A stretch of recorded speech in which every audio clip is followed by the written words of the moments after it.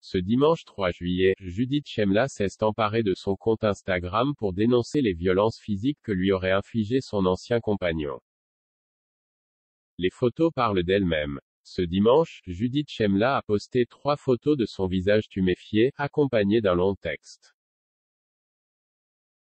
Les images, qui datent de juillet 2021, ont été prises suite à une violente altercation entre l'actrice et son ex-conjoint survenue dans une rue près du théâtre du Rond-Point selon les informations de Variety. L'homme en question, Johan Manka, acteur et réalisateur, aurait jeté son téléphone au visage de Judith Chemla qui est allée porter plainte le lendemain dans le commissariat du 10e arrondissement. Un an plus tard, l'actrice, aujourd'hui séparée de celui avec qui elle est restée cinq ans, a choisi de partager publiquement l'enfer qu'elle vit actuellement. Je n'ai pas honte de cette photo. Mais lui devrait avoir honte, il devrait avoir honte aujourd'hui, un an après, au lieu de continuer à faire pression sur moi, de penser qu'il a encore les moyens de me manipuler, au lieu de pourrir la tête de mon enfant il devrait avoir honte et se faire discret, rechercher vraiment à être pardonné.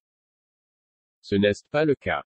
J'ai tant de preuves qu'il continue d'essayer de me nuire, a écrit la comédienne avant d'ajouter, retourner au commissariat une troisième fois, déposer une troisième plainte en un an, être dans le milieu du cinéma, et avoir l'épée de Damoclès de huit mois de prison avec sursis. Ça ne suffit pas, je suis à bout. Que faut-il pour qu'il me laisse tranquille? Judith Chemla, son message bouleverse les internautes, un message poignant qui a valu la réaction de nombreux internautes, parmi lesquels plusieurs personnalités. Ainsi, Céline Salette, Juliette Armanet, Reda Kateb, Manu Paillet ou encore Daphné Roulier ont affiché leur soutien à l'actrice actuellement à l'affiche du film Les goûts et les couleurs.